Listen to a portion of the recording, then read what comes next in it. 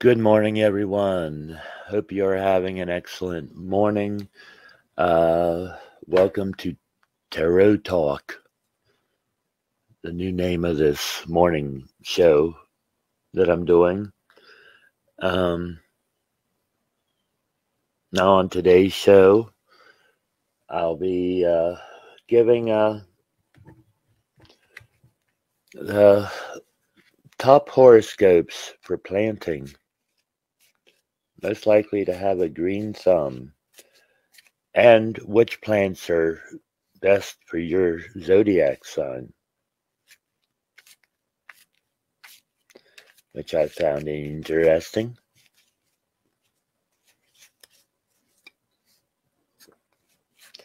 And for a change, I am using a different set of cards. One I've used before, but this is this is a little bit different.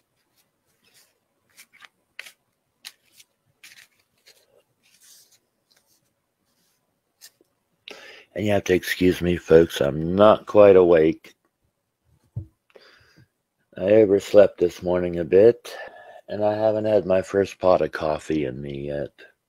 Before I get started, I want to show you all a while back, hide that. A while back, I'd gotten these oracle cards that you you color yourself. They they're black and white, and you color in yourself. Well, during my brief hiatus last month or last week, I should say. I uh, I worked on one.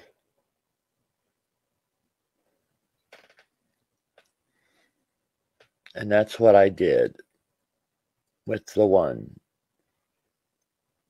It's called Boundaries. And it's a guy meditating. And what I tried to draw or color in here is the fact that the red is the anger and the emotions and stuff.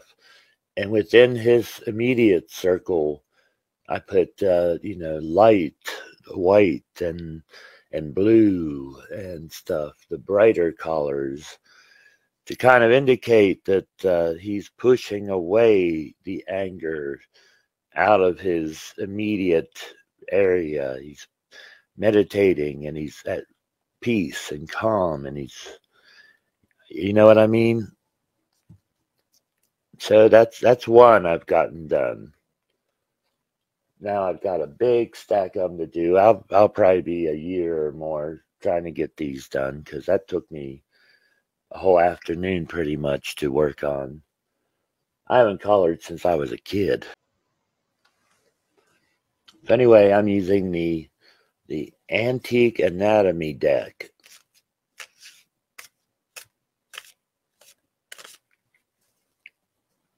So let's see what comes up.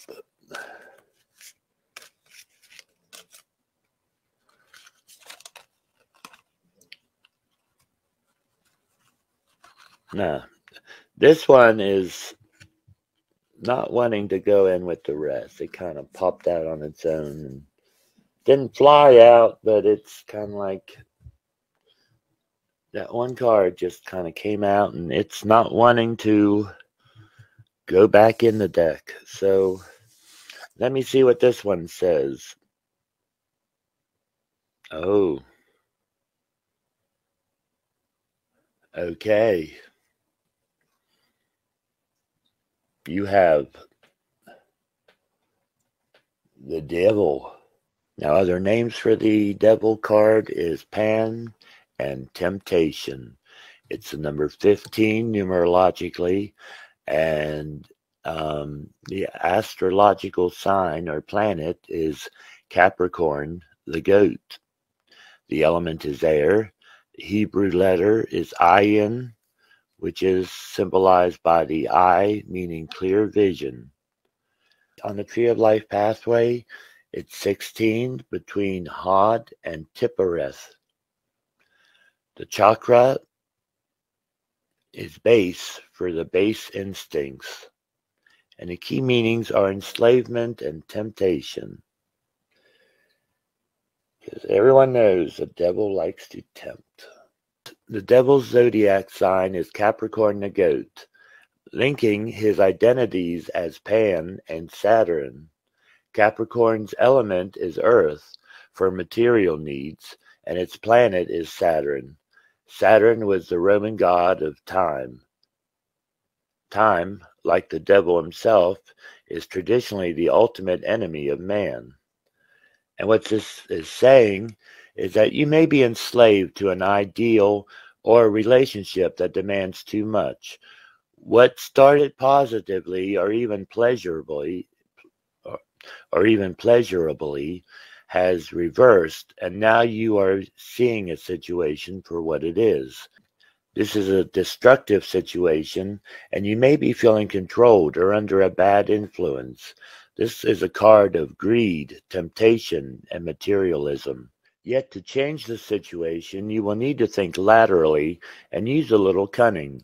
It's never worth confronting the problem as a, the negativity is endemic. Hence, the devil card often appears to describe a situation that are not worth trying to control or heal.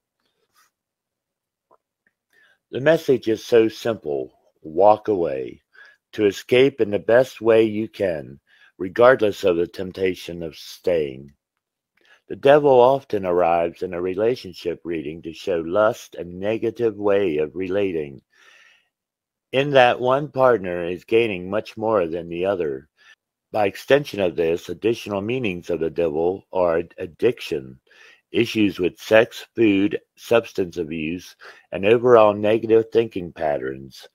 Some other specifics include the following home.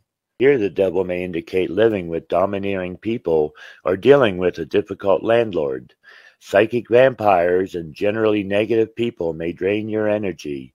You may feel controlled and invaded just now. In relationships, Difficult relationships are indicated here, such as controlling partners, lust over love situations, affair, and codependent patterns.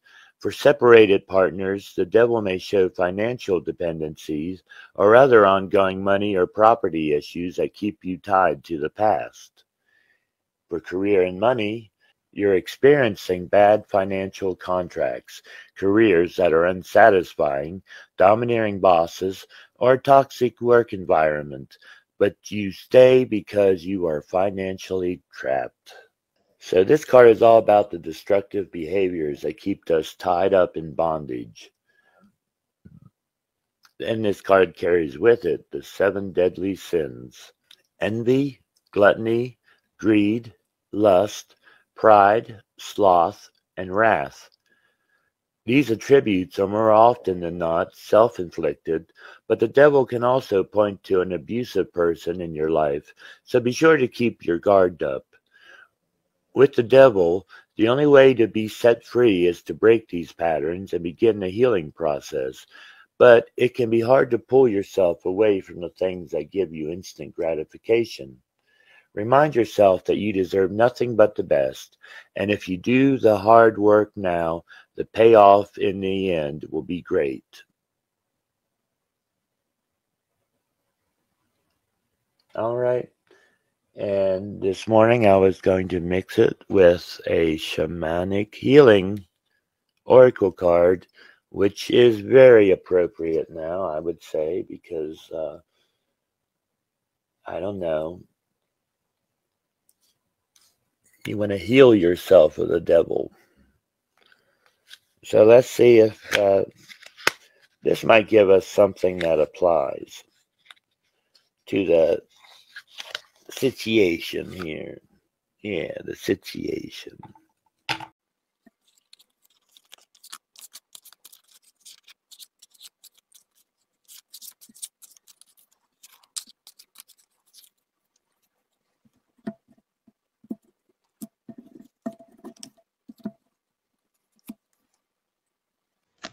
Okay.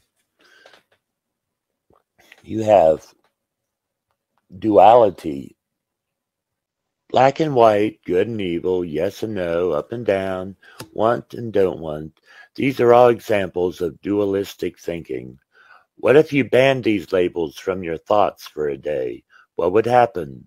Would the world end? Doubtful. Would some people get away with something? No. Would you attach less emotion to a bad situation or drama? Possibly. If that happened and there was less attachment to a situation, you could keep your vibrations higher, which would be which would enable you to deal more successfully with any situation that comes your way. Given enough time, most bad situations work out in the end. Is it your choice to be drama free or spend a lot of time or wasted energy on a situation that will turn out okay in the end? What do you choose?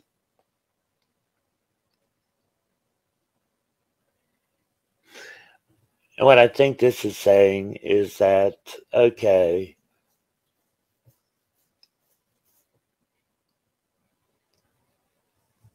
not to worry too much about this devil card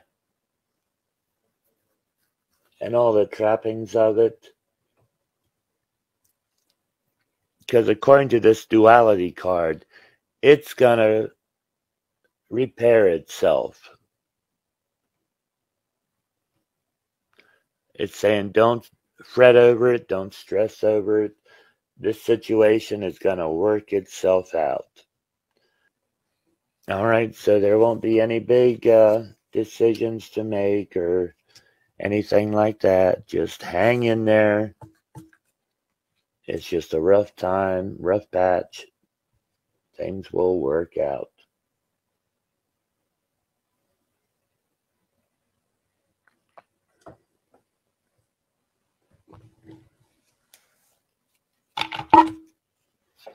Now let's get this stuff out of the way. And okay, so here I'm going to cover now um, the plants most suited to your your sign, which you should have easiest time growing. Okay. For Aries, you have cactus, which can produce colorful flowers, are your best bet, given how low maintenance but vibrant they are.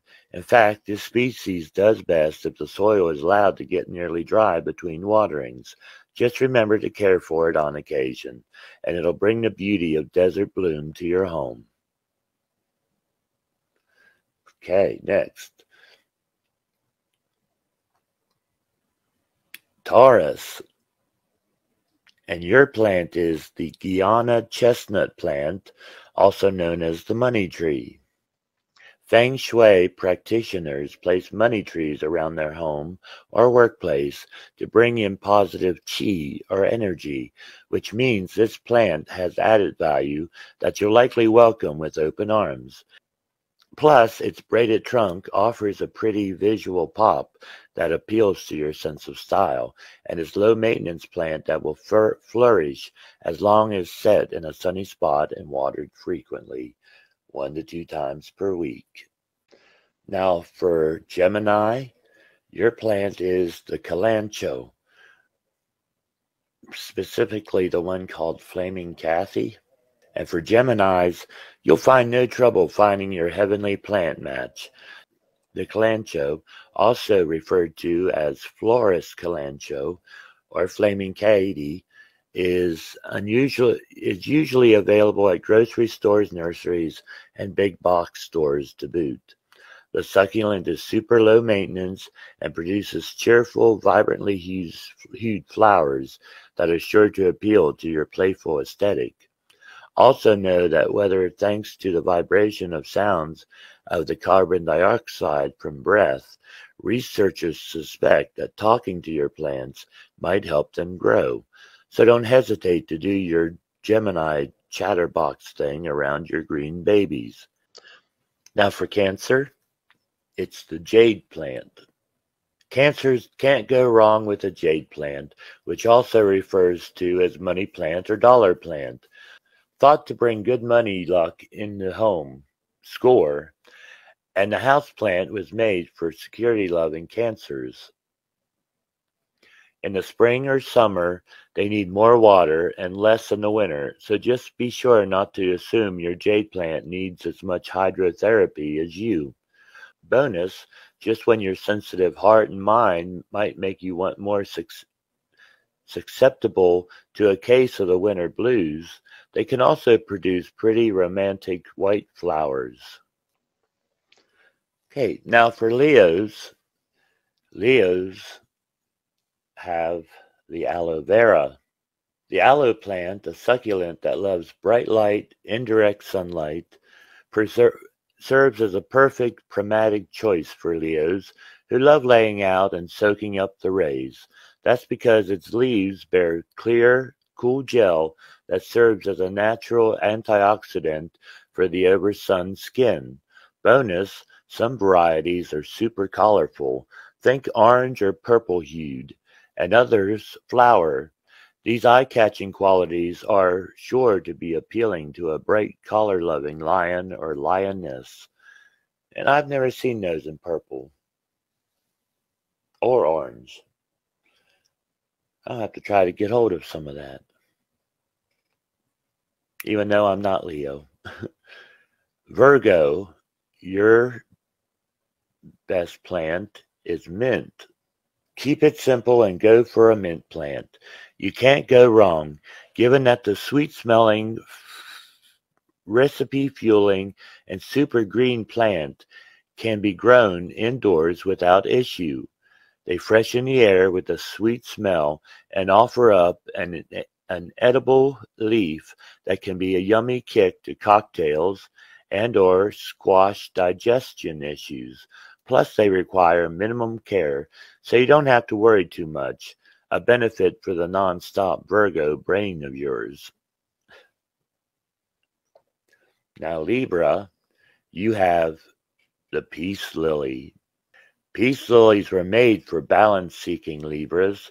The low maintenance plant offers up blooms that look like white flags, which symbolize peace, a message that conflict adverse Libras a message that conflict averse Libras can certainly get behind.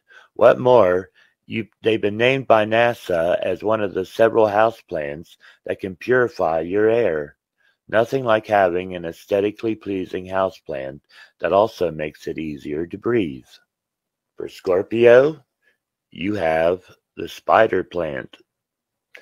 Being that you're comfortable with the underbelly of life, the creepier and crawlier the better, you're probably not all that freaked out by spiders, and certainly not by a plant named for them, thanks to its shape. The spider plant is easy to care for and fast growing, which fuels your need for success and loves weekly waterings, which will be more which you'll be more than happy to provide as a water sign. Another bonus for family oriented scorps, it produces babies that you can repot. Okay, now we're getting down there. Sagittarius has the calathea or prayer plant. A house plant with a spiritually inspired name, the calathea or prayer, or prayer plant might be your greenery soulmate. It is hardy and loves bright indirect sunlight, which you can certainly understand as a fire sign. Plus, with its large purple, pink, green, and red leaves, it's bold and downright dramatic, just like you.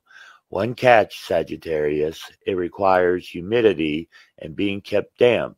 So you'll do well to ask one of your friends to come plant set when you drop everything to head out on one of your signature road trips or overseas adventures.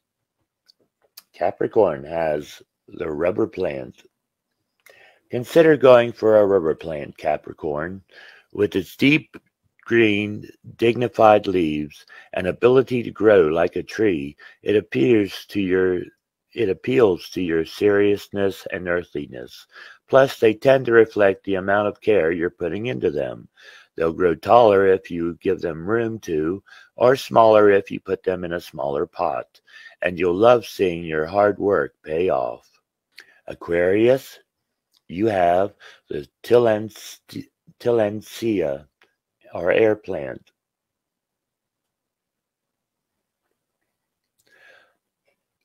Air plants will appear will air plants will appeal to your love of the abnormal because they don't require soil and they're a bit quirky, just like you, Aquarius. They serve as conventional they serve as conversation starters, which is perfect for you, given that you pride yourself on having a wide social circle and might occasionally host friends or colleagues. And being that you're fairly science minded, you enjoy figuring out your air plant's watering preferences. They might like to be misted, soaked, or both. Now, Pisces has the African violet. Pisces might want Pisces might want to consider an African violet plant, which thrives in moderate to bright indirect indoor light and offers up stunning blooms a few times a year. Because you're empathetic and sensitive, you understand just how important it is to experiment and land on the correct ratio of sunlight, water, and humidity that the African violet requires. It's not necessarily a high maintenance plant, but it does happen to have specific needs that a Pisces will enjoy pinpointing and trying to and keying into to keep it happy. And now Okay, you're growing these plants. So let's go over the five gardening zodiac signs who have a green thumb. And I'm going to start, uh, I'm going to do a countdown from five. Number five, Cancer. Cancers are house proud, and that extends to the garden. Working with the soil, watching the first shoots and buds appear, and being able to harvest their own fruit and vegetables gives Cancer a feeling of purpose. Gardening is a therapeutic way for them and allows them to work out some of their emotions in a safe way. Cancers channel their creativity and use their garden as their canvas, making it a piece of living art. Being outside, working with their hands, and seeing the results of their labor does them good. Okay. Number four, Aquarius. Aquarius is one sign that has to spend a certain amount of time outdoors, and gardening is very therapeutic for them. Gardening inspires their inspiration, and they often come uh, up with innovative ways to do things like watering or pruning. Aquarius feels proud when they have things start to grow and even feel as though they are a part of and even feel as they are a big part of why they have the most bountiful fruit trees or why their strawberries are so sweet and juicy.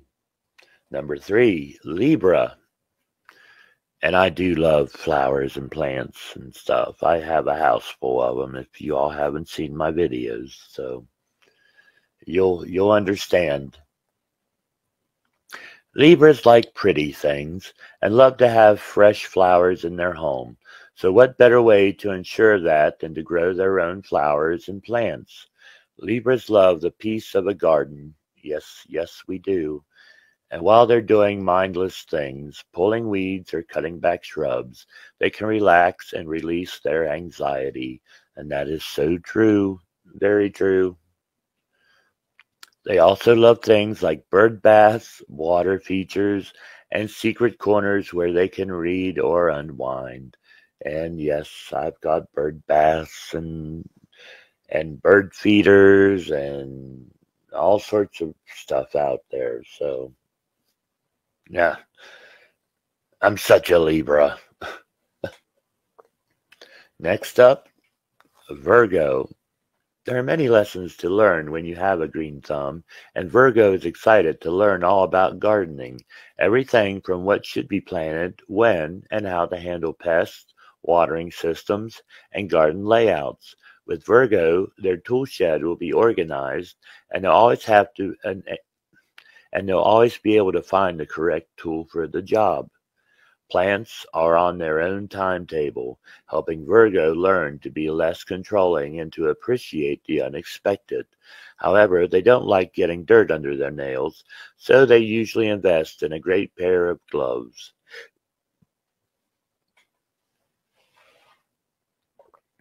And now the number one drum roll.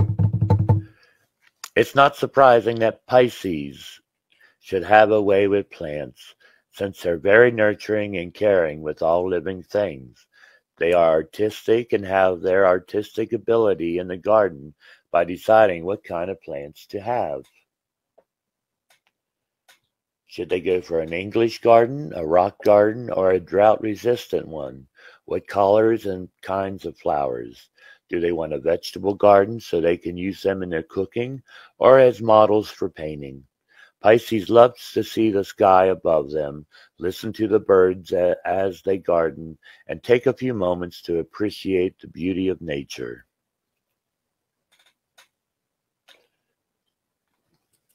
And so, all right. Um, so there we go. And I was wondering where I'd fit into there because, you know, like I said, I do love the garden. I love all that stuff. And uh, I'm glad Libra made it up there. And it's amazing how many Libras there are. Especially on our group page. And, and by the way, if you're watching this video and you haven't subscribed to our group page on Facebook, please do. Uh, the link should be down in the description below. So, with that, I am done for today. Hope you all have a blessed Monday.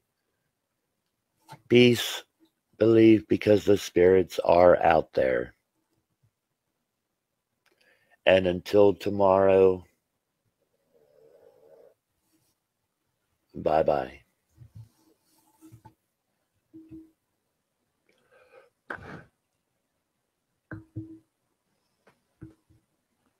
you